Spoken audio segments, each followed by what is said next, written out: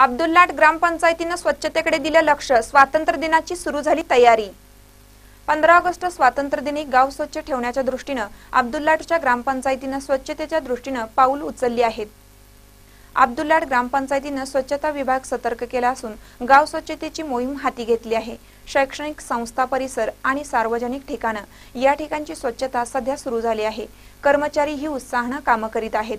अब्दुल्लाट ग्रामपंचायतीनं घेतलेली भूमिका लोकांना पसंत पडली आहे.